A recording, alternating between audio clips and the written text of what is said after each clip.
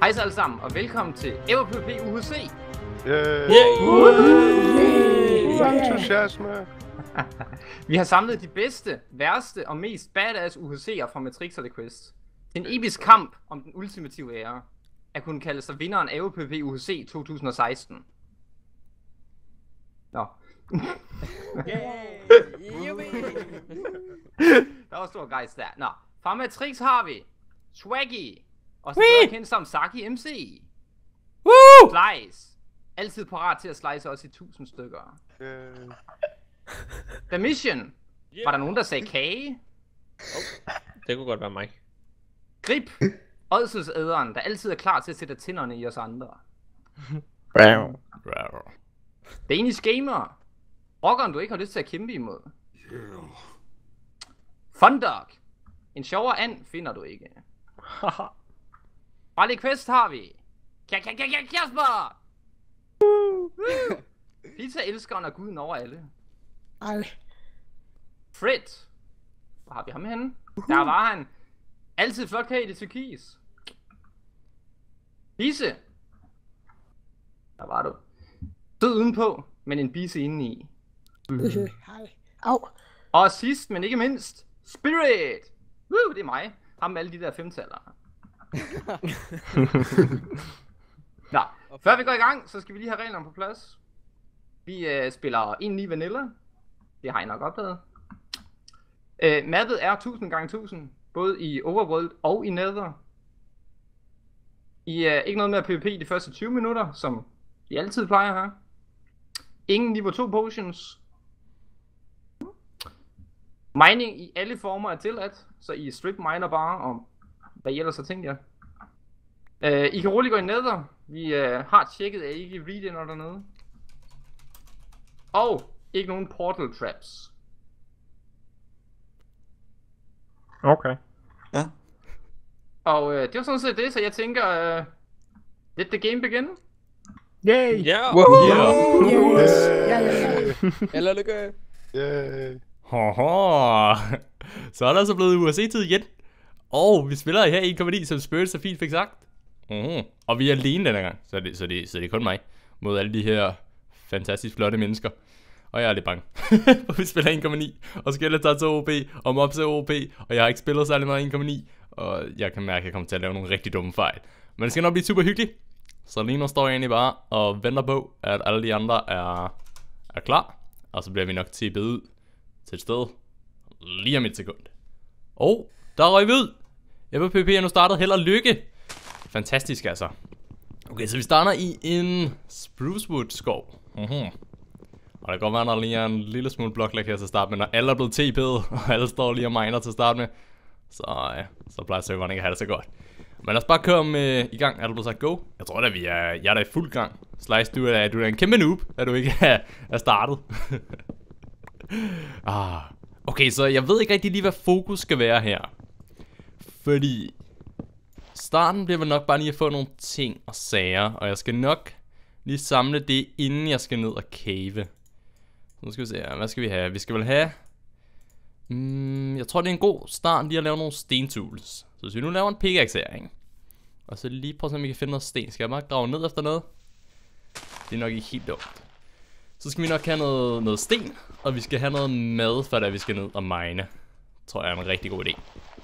Og så det ville være super lækkert, hvis vi også kunne få nogle, øh, nogle æbler. For det er den eneste rigtige måde, man kan regenerere, når man spiller USC. Det er enten ved æbler, eller via potions. Så, eller beacon selvfølgelig. Men det er måske lige, lige lidt overkill at begynde at kæmpe mod en wither. Det, det kan hurtigt gå galt. Men det er også dejligt, at vi lige finder noget kul her til at starte med. Og vi behøver ikke rigtig passe på nogle af de andre, for vi har sådan en gentleman-aftale med, at vi ikke nakker hinanden inden for de første 20 minutter. Så lige nu kan jeg bare holde ryggen til alle andre. Bortset fra skeletterne. Apropos, det er nok heller ikke en dum idé at få lavet et skjold så hurtigt som muligt, tror jeg. Selvom jeg er rigtig dårlig til at bruge den. Men det skal nok også blive, øh, blive meget godt, tror jeg. Og se, hvis der vi nu laver en økse, så hakker vi lige noget mere træ, fordi jeg tror, det er en god idé lige at få noget mere træ med ned. Når der vi skal ned og cave, øh, vi skal nok også have lavet en ovn. Og se, jeg vil hellere hakke noget af det her oak træ, der er lige over på den anden side, tror jeg. Det er faktisk sådan en lille smule bedre. Åh, der er masser af dyr her. Og jeg kommer også til at bruge øksen som mit våben. Og det er en lille smule i tvivl om, om er godt, for jeg har ikke spillet så meget PvP her i 1.9, men øksen skader mere end sværet. Den har dog en lidt længere sådan cooldown-tid, når man har slået på den. Eller slået med den. Men øh, jeg tror simpelthen, det her det bliver mit, øh, mit weapon of choice.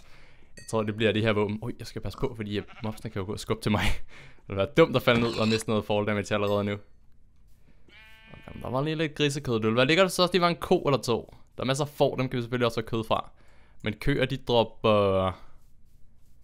Øh, dropper leder, som vi skal bruge til enchant med. Vi skal passe på de her steder, hvor der er, der er mørkt indenunder. For, øh, hvis der man kommer tæt på tæt på dem, og der spawner, spawner skeletons derinde, så kan det altså ret hurtigt gå galt. Men lad os prøve at se rundt omkring. Se, ja, det, det må være midten derinde ved beaconen, så jeg ikke spawner så langt væk fra midten. Okay. Det er også godt at vide. Det kan godt være, at jeg måske vil ud til en af kanterne på mappet. Jeg føler mig altid mere sikker, når jeg er derude, nemlig. Men lad os lige skaffe standardtingene her til starten. Så hvis vi laver en ovn, og lige smelter, øh, smelter et par bøffer, og så prøver vi lige at håbe på, at der lige kommer et æble fra det her træ af. Hvis der gør det, ikke, så er det, så er det Gud. Det vil så ikke være dumt. Og vi kan måske lige tage tre mere, bare lige så vi har masser af træ med ned. Og så var der sugarcane langs den, langs den flod der. Det kan jeg ikke lige huske, om jeg så. Det skal vi nemlig bruge til at lave et... Ja, det er der derovre. Okay, så efterlader jeg lige min mad her og håber på, at der ikke lige kommer... en, der kommer og nakker al min mad. Så jeg skal gå sulten i seng. Det vil ikke være sjovt. Og lad os lige nakke derovre, fordi det kan vi nemlig bruge til at lave bøger med. Og bøgerne skal vi selvfølgelig bruge til at lave en enchantment table. Så det er rimelig godt. Og det er sådan noget, der er svært at finde senere hen i spillet, fordi det er sikkert også noget, de andre går og leder efter lige nu. Under en cave? Ah, det ser ikke ud som om, den går dybt ned. Vi skal nemlig have fundet en cave, men jeg tror ikke, den der går nedad.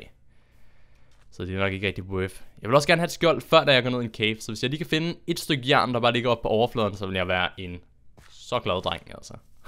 Eller hvis der var et stykke jern, der ikke er så langt ned i en cave, så jeg ikke rigtig skal ned og, og gå og lede efter det, så vil det også være meget lækkert.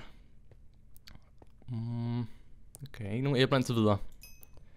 Og så er der noget, noget med. Øj, der er nogen, der har fundet anden. det er meget sjovt. Det er en lille map, så der er stor chance for, at man kan gå og finde hinanden. Og det er jo ikke så forfærdeligt at gå og finde hinanden her, når der ikke må slå hinanden ihjel til at starte med. Nu lyser jeg altså lige lidt op herinde, bare sådan så det ikke spawner dem op, og jeg kigger væk og kommer til at løbe ind i skeleton lige om lidt. Hmm, okay, lad os prøve om vi kan finde cave. Hvad er det derovre? Det er bare mørkt. Der var ikke en vej ned. Så jeg skal passe på, at man går for højt op, for lige snart jeg går højt op, så er der altså også langt ned. uh, Extreme Hills, det er bare ikke...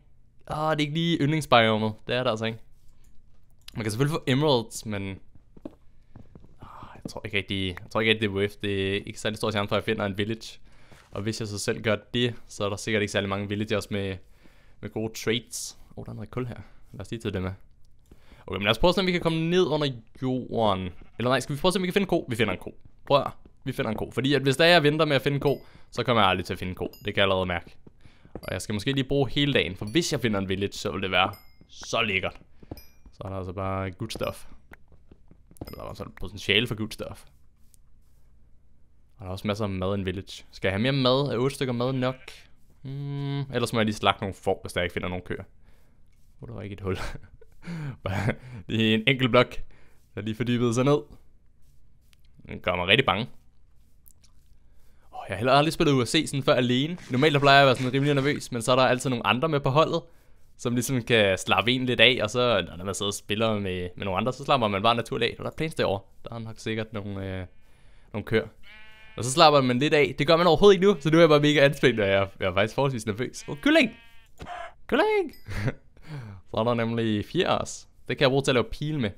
Og oh, der er tre derovre, der er lige blevet hugget, så er der en nede dernede et eller andet sted. Okay, godt at vide, godt at vide. Mm, så er det biome nok mere eller mindre blevet undersøgt for alt muligt. Lad se, om vi kan komme ned her uden at miste damage. Øh, men hvis jeg er heldig, så kan jeg måske lige nå hen og se, om jeg kan få en, en, en lille ko. Det var ret dejligt. Men så kan jeg nok ikke finde cave i det her område, fordi der er nok andre også. Der er kyllinger. Okay, så der er ikke en, der har været herovre, tror jeg. For ellers så er det da en, en person, der ikke har siddet i kyllingerne. Det ville da være mærkeligt. Kom nu!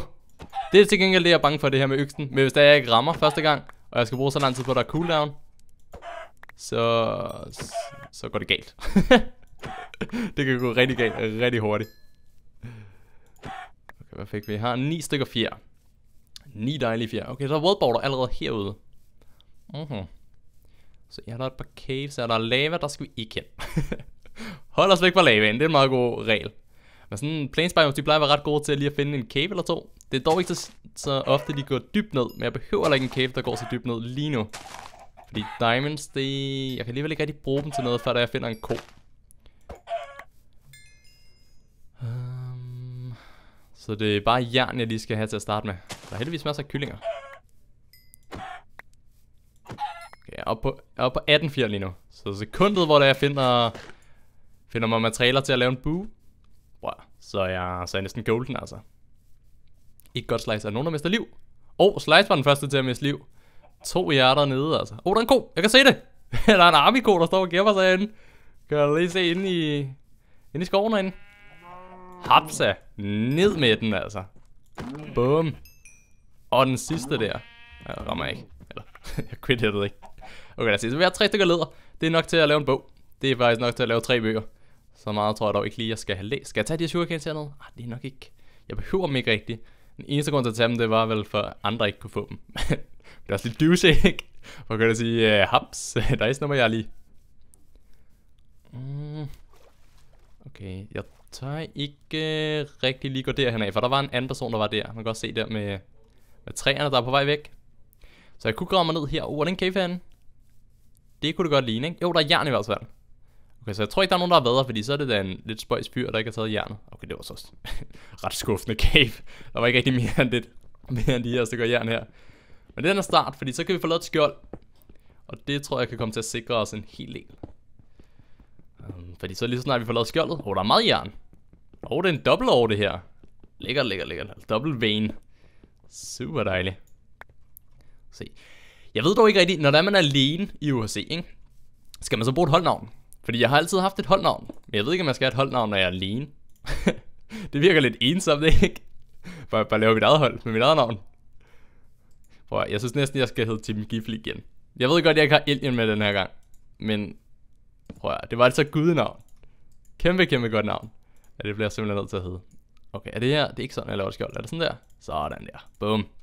Godt. Hen i venstre side med den. Og skal se, jeg vil ikke smelte alt det her jern endnu, for de andre må alligevel ikke gå og slå mig her i første dag. Så jeg tænker ikke, der er en grund til at lave armoret lige nu. Jeg vil hellere se, om jeg kan finde en cave lidt hurtigere. Så ja, det er en vej ned det her. Det er godt nok nogle små caves, jeg finder, altså. Det er bare de mindste huller i jorden, jeg nogensinde har set.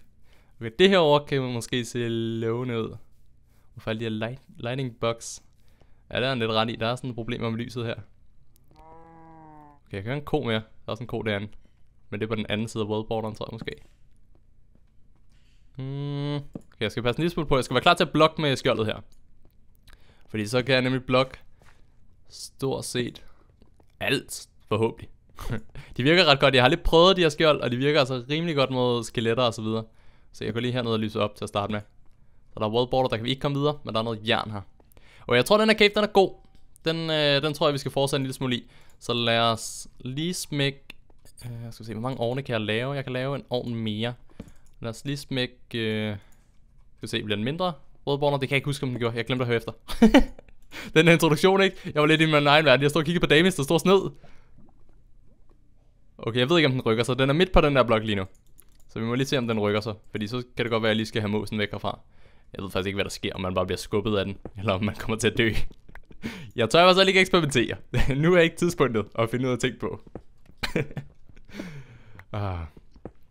Okay, så hvad havde jeg? Jeg havde 13 stykker jern, og jeg fik lige 8 mere her.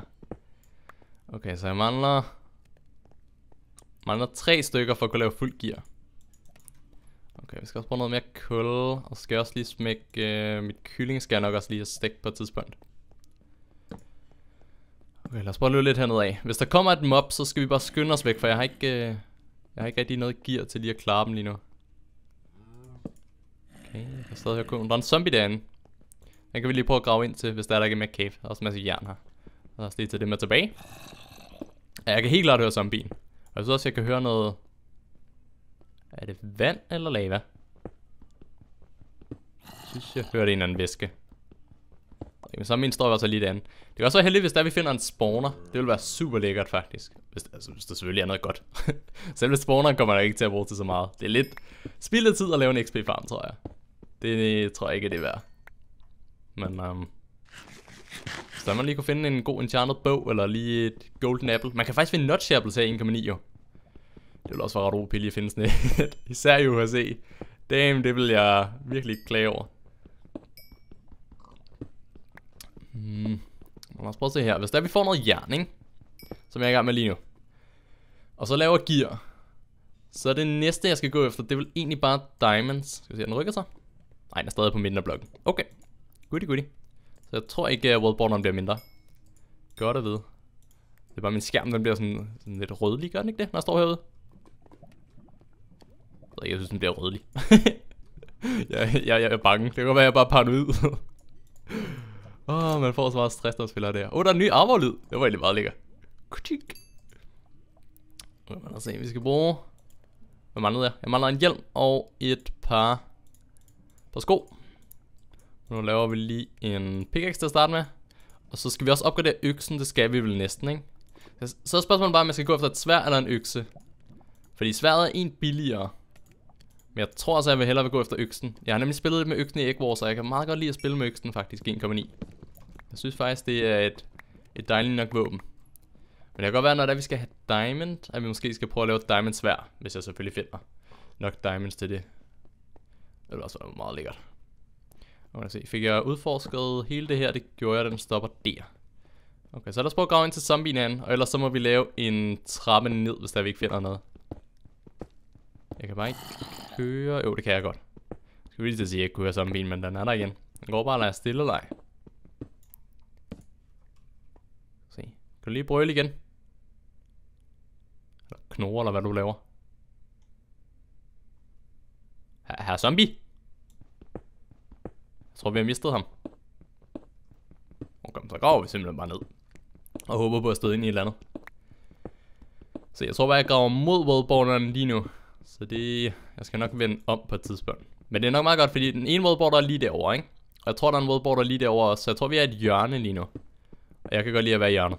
jeg føler mig dejligt sikker herude. I hele siden af madet. Det er lidt bedre end at være i midten, hvor folk bare kan komme på alle sider af. Fik jeg fuld gear? Nej, det gør jeg ikke. Jeg manglede lige skoene og hjelmen. Jeg har faktisk nok til at lave en af delene. Jeg venter lige til at nok til at lave begge dele. Så kan vi lige smelte noget mere jern. Og så tror jeg faktisk ikke, at vi behøver meget mere jern. Så kan vi selvfølgelig lave en anved. Mm, men jeg har kun... Jeg kan kun lave tre ekstra bøger. Eller det vil sige to bøger over det, jeg skal bruge til enchantment table. Så det er ikke fordi, jeg kan få de vildeste enchantments. Normalt så plejer man at kunne lægge dem sammen, og så kan man bare få good stuff. Oh, der er en cave. Okay, lækkert. Se, jeg skal lige have nogle blocks på baren her. Og... Åh, oh, jeg håber virkelig ikke, der er et skelet, øh, skeleton hernede. De er så gode. Selvom jeg har skjoldet, så måske det ikke er verdens undergang, hvis der er et hernede. Nu skal vi se, nu blokker vi lige her. Jeg skal bare ikke vende ryggen til, for så kan de godt skyde på mig. Okay, der er mange gange her. Det er en ret lækker kæft. Der er guld derovre. Okay, lad os lige blokke af her for nu. Bare lige sådan der. Så ved jeg, så kan jeg komme tilbage her. Og så prøver vi lige at tjekke den her gang ud til at starte med. Ej, lad os lige blokke den af også. vi skal lige have guldet, hvis det er, jeg husker det. Okay, der er ikke et eneste mob hernede nu. Det er rigtig godt. Man skal også huske på, at der er mange andre, der spiller herinde. Så der er mange andre steder, hvor mobsene kan spawn. Og jeg på, der ikke lige hopper en creeper ned i hovedet på mig eller sådan noget. Det ville virkelig ikke være godt. Se, lad os lige få nakket. Åh, oh, goddammit, fik jeg vand over det hele? Det gør jeg ikke. Jo, men jeg fik stadig smadret min torch. Okay, sådan her. Jeg vil nemlig gerne lige have lavet en spand. Fordi en spand vand, det er rigtig godt, især hvis vi kommer ned til lava. Eller hvis der er en eller anden, der har en eller anden enchantment, hvor der er begynder at brænde, eller der er en eller anden, der bruger sådan en flint stil, eller et eller andet lækkert. Så en spand vand er altså super smart. Okay, og jeg skal lige bruge nogle flere fakler. Så nu laver vi bare en masse pinde. for det får vi nok brug for. Og... Vi gør det sådan her. Bum. Okay. Mm, ja. Goodie. Okay, så lad os lige se, om vi kan få det guld her. Der er noget med jern herover. Så kan vi også lige få noget, noget tøj på kroppen. Lige i skoene. Og i ansigtet. Eller på hovedet. Jeg måske ved. okay, boop, boop, boop. Og skal vi se, 6 stykker plus de 3, jeg har. Det er nok til at lave begge dele. Så det er også dejligt. Okay, guld hernede. Ikke nogen onde monster. Jeg kunne godt tænke mig at se, om jeg kunne finde en Abandoned Mineshaft. Det ville virkelig være drømmen, fordi så ville jeg kunne få det cobweb rimelig hurtigt. Og så ville jeg bare kunne lave en bue. Og så ville det være rimelig golden. Apropos golden, jeg fik 8 stykker guld. Så jeg kan lave et golden apple allerede nu. Dejligt. Eller jeg mangler selvfølgelig æblet. og så mangler jeg spillet guldet. så jeg kan overhovedet ikke lave det nu. Men på et eller andet tidspunkt, når jeg lige skaffer tingene, så kan jeg lave det. Okay, så caven den fortsat derned, og derover og deroppe. Så vi har stadig tre steder, vi kan gå. Så jeg håber stadig lidt på, at det her det er caven, hvor der vi kan finde nogle diamonds. Det er fem diamonds, vi skal bruge. Vi skal bruge tre til en pickaxe, så vi kan få noget obsidian. Og så skal vi bruge to til selve enchantment tablet. Mm-hmm. Og vi skal også bruge noget lapis for, at vi kan enchant faktisk. Uh, altså vi, er, vi mangler stadig en del. Men øh, vi er faktisk på, øh, vi klarer det ret godt. Vi har fundet en cave uden med liv. Og vi kan se både The Fred, Slice og Thunder komme i stedet en lille smule liv. Dog ikke så meget, men det er der stadig, altså, det, det er dårligere end intet liv. altså, de er, de er klart tabt til mig indtil videre. Og sådan er nu er jeg fuld gear. Lækkert. Okay, det kan godt være, at jeg måske lige skulle sætte de her ovne til at smelte guldet, bare sådan, så jeg har det. Og måske også mit kylling. Okay, det ser lovende ud det her. Det ser faktisk rigtig lovende ud. Okay, der er lapis hernede. Det var en rigtig stor cave. Det er lidt småfarligt, hvis der jeg ser dem op hernede. Det er utroligt, at jeg kan se det eneste indtil videre. Okay, jeg har lava hernede. Skal vi bare sådan lige smule på med. Okay, lad os bare tage det der lapis, mens der vi lige kan. Åh, oh, chok jeg fik. Kæmpe chok jeg fik. Ej, det må de altså meget gerne lade være med at gøre sådan der. Ja. Uh. Men tusind tak fordi I sad så med på den her video. Smid bare gerne like, hvis I kan lide det her. Og så øh, forhåbentlig ser I med igen i næste episode. Oh. Uh, øh, ha' det rigtig godt. Farvel.